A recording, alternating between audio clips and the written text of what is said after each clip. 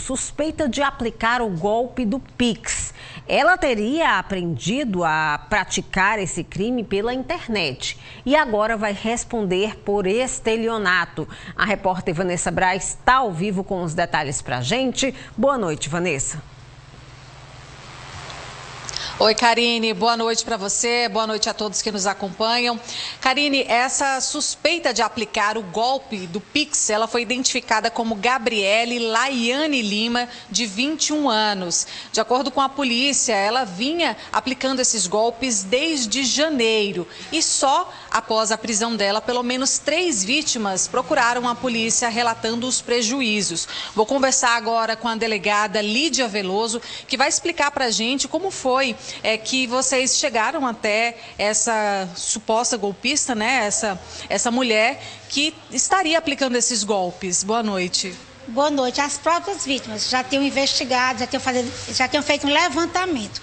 Então, quando foi hoje, eu, em um dos estabelecimentos, na Preciosa Cosmética, ele constatou que ela não tinha depositado o dinheiro, já era a terceira vez. Uma ela consumou, a segunda foi tentado e a terceira também foi tentado, porque ela foi presa no momento que já tinha realizado a compra. Tinha realizado a compra, mas não tinha efetuado o pagamento. Então a vítima já sabia que o pagamento não tinha sido creditado na conta. E aí fizeram esse flagrante, né, nesse momento. É, quantas outras pessoas teriam sido prejudicadas? Só hoje foram três aqui, não é? é teve a do flagrante que ela foi pega, né, em flagrante e tem duas vítimas, uma de gás e a outra de salgados. A do gás, ela, ele já vem desde, ela vem praticando golpe contra a empresa dele desde janeiro, mas ele só constatou agora recente, há 40 dias. Prejuízo de mais ou menos quanto? Já é possível contabilizar? Ele me apresentou aproximadamente 6 mil reais de golpes, de comprovado, de crédito, de, é, de PIX não efetuado, não creditado na conta. Agora, ele presume que em 40 dias, se ele fez um prejuízo, ela deu um prejuízo à empresa de 6 mil reais, ele imagina muito maior, porque ela vem desde janeiro. Inclusive, ela comprava esse gás de forma irregular, né? Ela não comprava de fato, aplicava o golpe e revendia esse gás? Ela comprava o gás, ela recebia o gás e revendia. Ela revendia, ela comprava a mais de 100 reais e revendia por 100 reais usando o mesmo logotipo da empresa. O que, que, deve acontecer a partir de agora e como é que outras pessoas que possam ter sido vítimas devem agir? Procurar a delegacia da área. O flagrante já foi concluído e as pessoas que forem vítimas de golpe podem procurar a delegacia da área em que reside. Muito obrigada, então, delegada, pelas informações. Karine, aqui ainda na Central de Polícia, a nossa equipe conversou com o delegado Reinaldo Nóbrega, que efetuou a prisão de Wellington da Silva Dias, de 26 anos.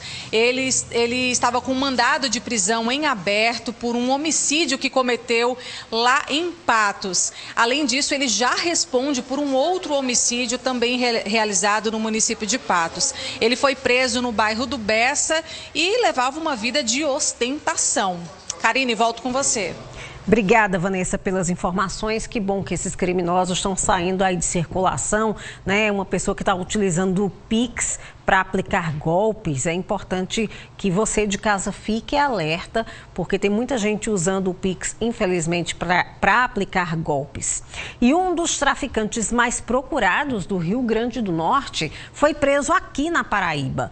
Márcio de Souza Brito, conhecido como Marcinho Potência, tem 37 anos e desde 2013 estava aqui no estado, ou seja, há quase 10 anos. Além de tráfico, ele responde responde por porte ilegal de arma, falsificação de documentos e ele ainda é apontado como integrante de uma organização criminosa. E hoje, logo cedo, teve um acidente com uma carreta carregada de frutas. E esse acidente causou um grande congestionamento na BR-230 aqui na capital.